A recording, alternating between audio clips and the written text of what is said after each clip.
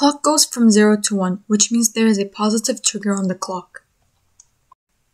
J equals K equals 0. The flip-flop is in the no change state. Therefore, the output of Q and Q bar does not change from the present state and Q equals 0 and Q bar equals 1.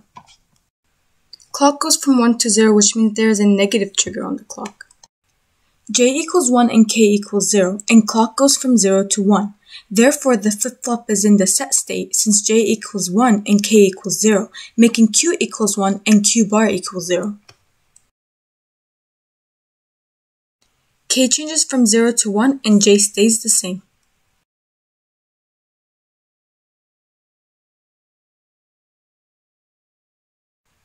Clock goes from 0 to 1. J equals K equals 1, which means the flip-flop is in the toggle state. Therefore, Q and Q bar are the complement of the present state, and thus Q equals 0 and Q bar equals 1.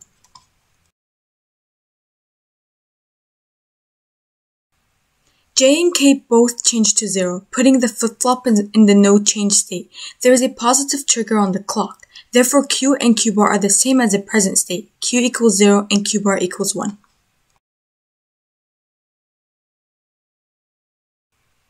J changes to 1 and K stays at 0. There is a positive trigger on the clock. The flip-flop is in the set state, thus Q equals 1 since J equals 1 and Q bar equals 0.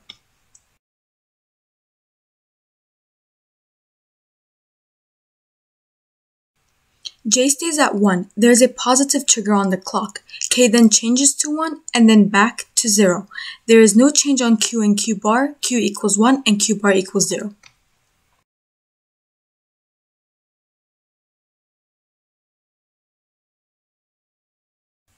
J equals K equals 0. There is a positive trigger on the clock. The flip-flop is in the no change state. Therefore, Q and Q bar are the same as the present state. Q equals 1 and Q bar equals 0.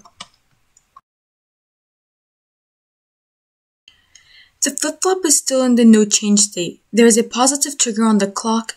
Q and Q bar stay the same as the present state. Q equals 1 and Q bar equals 0.